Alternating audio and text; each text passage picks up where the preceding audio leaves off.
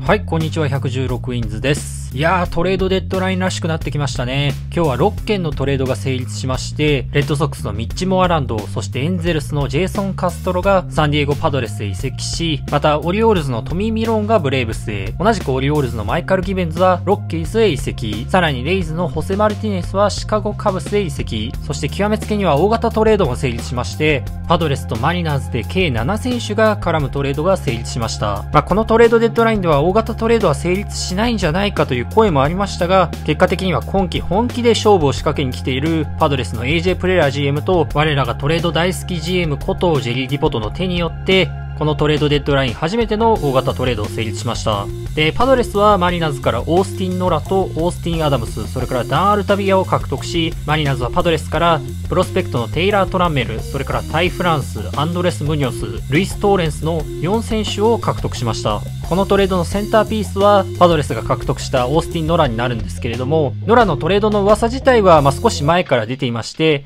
もしかしたら動くかなと思っていたところ、まあ、今日ちょうどマリナーズとエンゼルスの試合が終わった直後ぐらいに、ツイッターでノラがサンディーゴパドレスでトレードされそうだという話が流れてきまして、で、見返りがどうもトッププロスペクトらしいという話も出ていましたんで、まあ、どんなトレードになるんだろうなと思って待っていたところ、蓋を開けてみたら7選手も絡む大型トレードということで、いや、このトレードはやっぱりびっくりしましたね。パドレスは昨日トレバー・ローゼンタールを獲得したばかりで、で、さらに今日に入ってモアランド、そしてカストロも獲得していましたので、そこに加えてこの大型トレードでしたから、まあ、本気でパドレス今年勝ちに来ているんだなっていうことが伝わってきましたし、またマリナーズ側から見た時も、まさかノラがここまで高く評価されているとは思っていませんでしたし、そういった二重の意味で驚きのトレードとなりましたね。ではここからは両球団が得た選手たちをご紹介していきたいと思うんですけれども、まず何といってもこのトレードの主役はオースティン・ノラですよね。キャッチャーも守れるユーティリティ性が一つ武器の選手なんですが、実は昨年までマイナー生活8年間も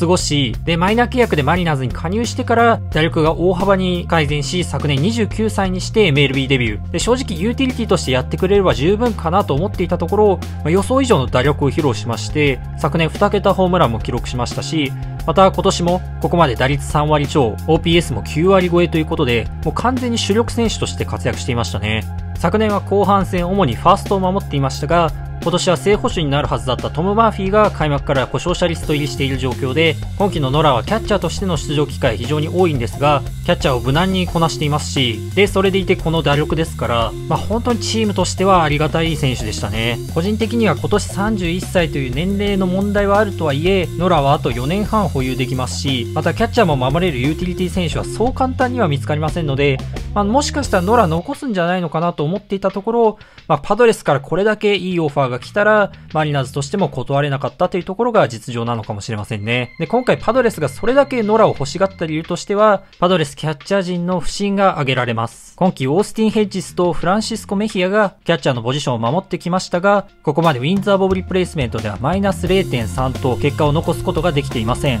ノラの今季の Wins Above Replacement は現在1.2ですので、ノラが加わるだけでもキャッチャーのポジション大幅なアップグレードになりますし、また別のトレードでカストロを獲得したのも、やはりこのキャッチャーというポジションに現状課題を抱えているとチームとしても認識しているためかと思われます。いずれにしても今回ノラは必要とされてコンテンダーに移籍することとなりましたので、移籍するのは残念ではあるんですけれども、ぜひサンディエゴでも頑張ってほしいなと思います。そしてノラ以外にも今回移籍する2人、オースティン・アダムスとダン・アルタビアについては、パドレスのブルペンを支えるかもしれない存在になるかなと思っています。アダムスは昨年ウェーバー経由でマリナーズに加入しまして、で、そこからは本当に素晴らしいスライダーを武器に一時期勝ちパターンを任された時期もありましたし、特に彼は奪三振数の多さが非常に目立つピッチャーですね。昨年1年間での奪三振率はなんと14.9と非常に高い数字になっていますし、後ろを任せる存在としては十分な成績なのかなと思います。ただアダムスは現在膝の手術の影響でここまで1試合も投げられていなくてですね、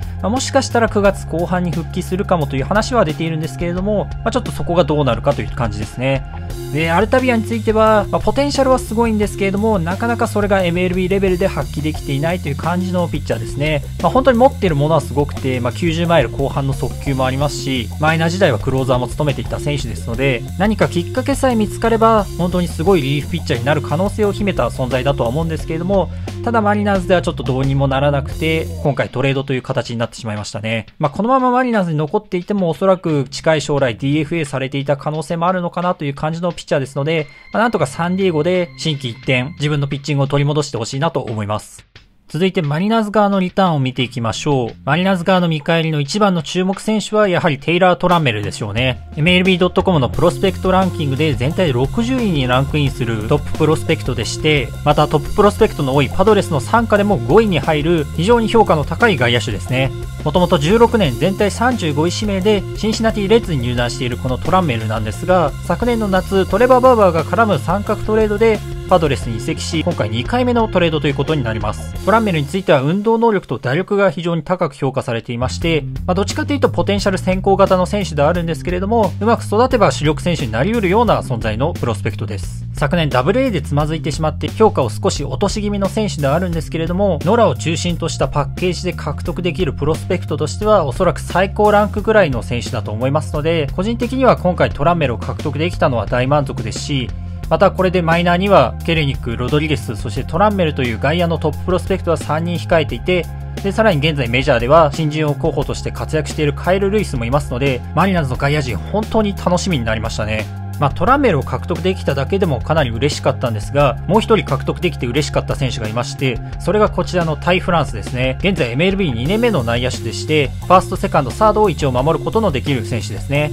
トランメルとは対照的に2015年34巡目指名と、かなり遅くドラフト指名されたこのフランスですが、ドラフト順位とは裏腹にマイナーで打ちまくってメジャーの舞台まで駆け上がってきた選手です。MLB でも昨年はそこまで打つことができなかったんですが、今年は決してものすごく出番に恵まれているわけではないんですが、19試合で打率3割1分4に、OPS も9割近くありますので、MLB レベルでも結果を残しているのは個人的に非常に好印象ですね。ただパドレス内野陣はレギュラーメンバーがほぼ固定化されている状況にありますし、また今回トレードでモアランドも獲得しましたので、まあ、ちょっとフランスを生かす機会がなかったため今回トレードということになったんでしょうが、マリナーズとしては非常にラッキーでしたね。マリナーズは内野の若手選手が、まあ、なかなかあまり活躍できていない状況にありますし、またサードの不動のレギュラーであるカイル・シーガーの後継者もそろそろ探さないといけません。そういった中で、まあ、フランス決して守備の評価は高い選手ではないんですけれども、まあ、なんとかセカンドかサードのどちらかに残ることができれば、マリナーズとしては御の字でしょうし、多少守備が下手でも、まあ、今年ぐらいの打力を1年間続けてくれれば、目をつぶることはできると思いますので、チームのニーズ的にも今回のフランスの補強はドンピシャだったんじゃないのかなと思いますね。今回のトレードで嬉しかったことといえば、まあ、トラメルが入っていたこともすごい嬉しかったんですが、個人的にはそれ以上にタイフランスがパッケージに入っていたことが非常に嬉しかったですね。